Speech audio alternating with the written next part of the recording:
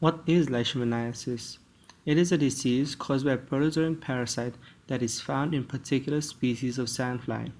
The single-cell leishmania parasite is the protozoan that develops in the sandfly. There are two main types of leishmania parasite, cutaneous and visceral leishmaniasis.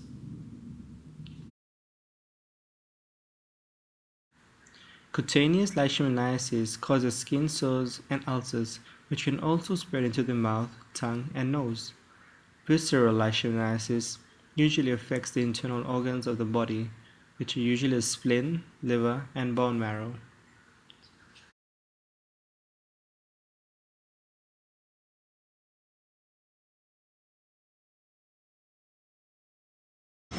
The Leishmania parasites mature in the gut of an infected sandfly.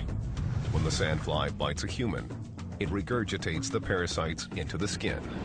There, the parasites feed on the host's white blood cells, reproducing and spreading to new areas of the skin. When an uninfected sandfly bites the infected human host, the cycle begins again. Transmission. It is transmitted when an infected female sandfly, which had contracted the protozoan from an infected animal or person, bites a new host.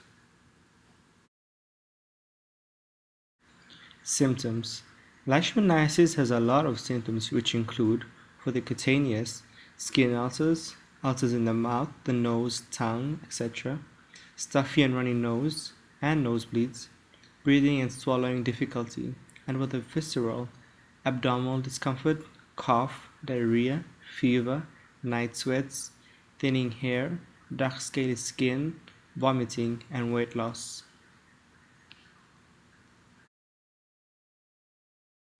Treatment The sores, if left untreated, can spread ulcers to other places, therefore medication, such as antimony, which are compounds of main drugs, are used to treat leishmaniasis. Surgery is also another option. Places it's found Leishmaniasis has been reported in all continents except Australia, the Pacific Islands, and Antarctica. A large amount of cases have been reported in such places as the Amazon basin, tropical ridges of the Andean countries, Morocco, and Saudi Arabia.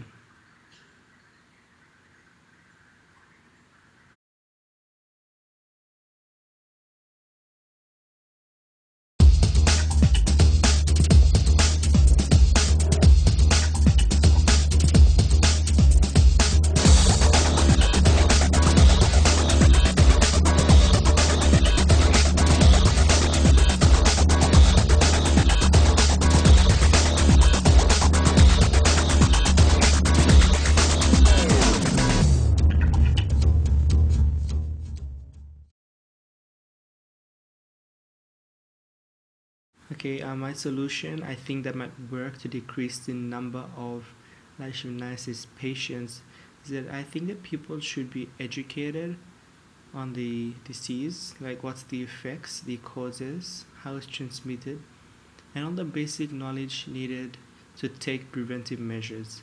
Because we all know that prevention is better than cure.